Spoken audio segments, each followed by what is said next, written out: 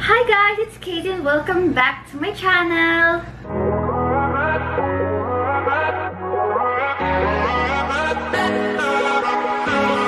Well, for today's video is I'll be doing my skincare routine. First thing to do is magwawash muna ako ng face para matanggal yung mga um, makeup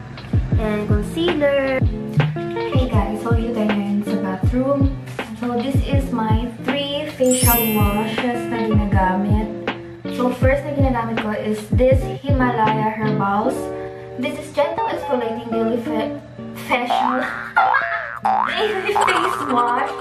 And it helps prevent blackheads. Nabili ko na to sa Watsons for 175 or 165 pesos. 100 ml siya. So, wash tayo ng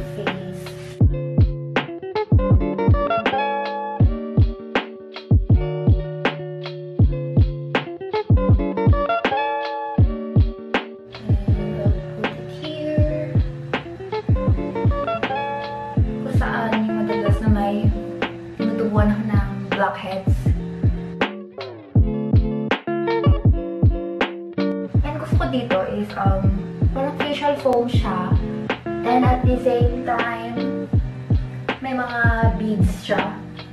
And yung beads niya, hindi siya rough tingnan kung igaganon-ganon mo sa face o sa scrub mo.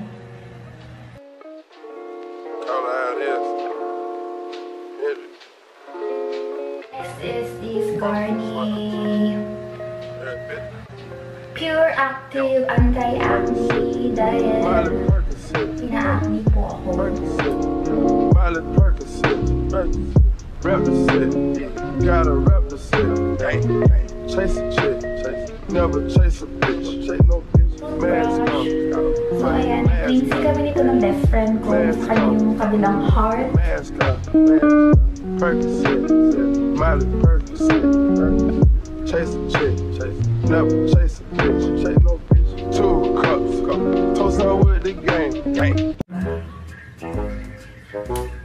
So, guys, tapos na po siya mag-wash ng face. Hindi pa! Wala na akong Kasi may pimple ako. So, ginagamit ko to.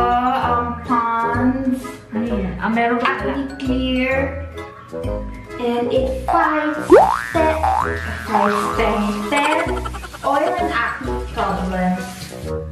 At, alam mo, um,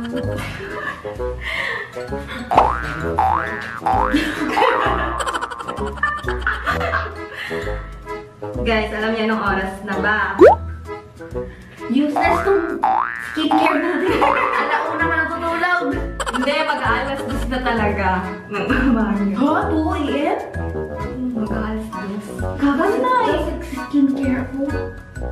Nga, di ba? Naisipin na ng ah, mga 8 a.m. 8 Grabe. Isipin na lang yung oras natin gagawin ito. Um, 7.30 p.m. or 8 p.m., 8.30. Grabe na ako kung alas 8 pa talaga natutulog. so next, para ma-secure na yung face ko na talagang malinis na bago ko gumamit ng mga products is ginagamit ko muna itong Garnier micellar water and this is for sensitive skin dahil nagbe-breakout ako. And Cuddles cotton pads. So ito yung ginagamit ko ngayon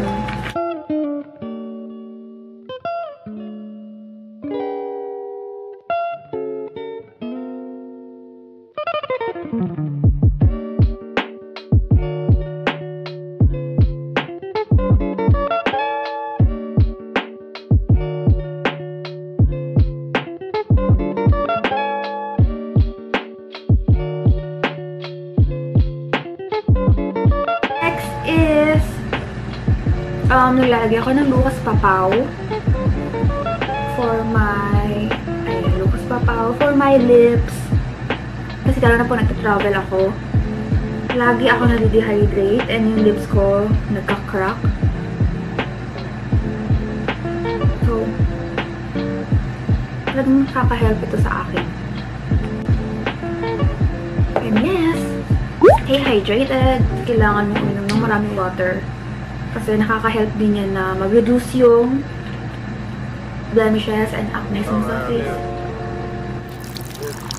Next is one of my holy grails. Ito, this is the Thayer's Witch Hazel.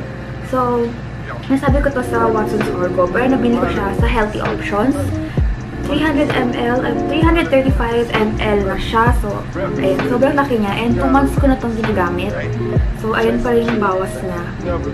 Pag nakakatipid ka dito for 695, siguro um 12 months na itong magagamit.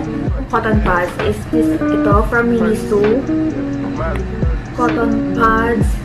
Ito naman ay 175 or 179 pesos.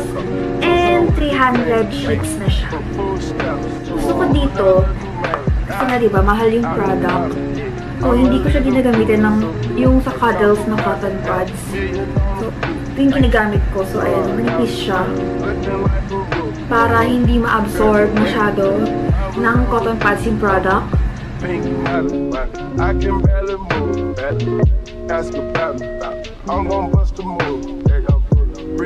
dangdang ko lang sa face.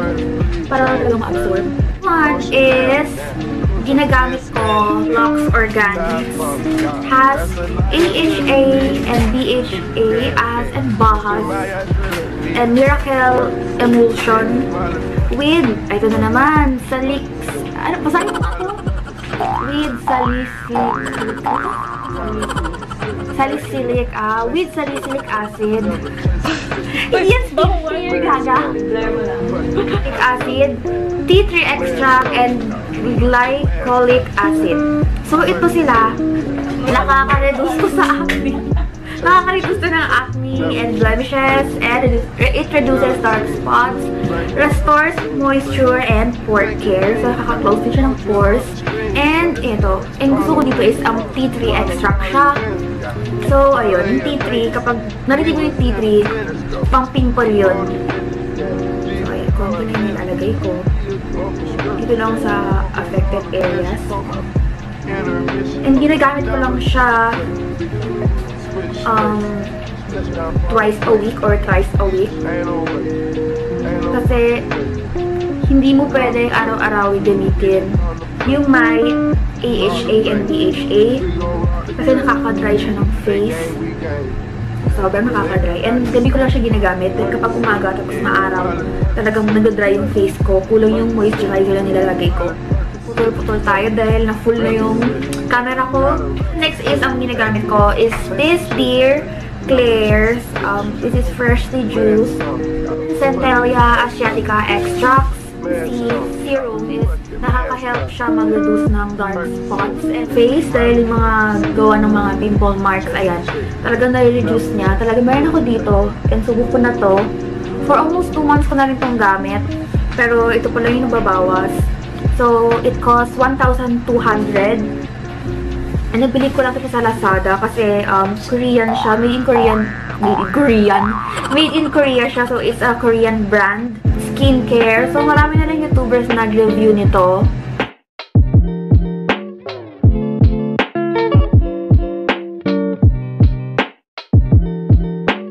And the last one na ginagamit ko is this from the Body Shop. This is um tea tree oil. Suitable for blemished skin. Um, 10 ml lang siya. And ito, mahal din ito. Um, 495. Itong nabili sa Body Shop. Pag may it, ano ba? English-English pa kasi ako. Sabi ko na sa'yo. What I like about this, charot, is, di ba, nakaka yung mga cystic acne. So, ang cystic acne is yung mga malaking bumps na hindi mo siya mapipisa. Yung parang katulad nito. Sobrang laki nito. Kung nakita niyo yung previous videos ko, pero makita kayo sobrang laki ng may pimple ko dito. Na yung, yung talagang nag-aano na, tapos wala kang mapiprick na ano, kasi paloob yung laman niya. Paloob, yun. Paloob yung, yung tubo niya.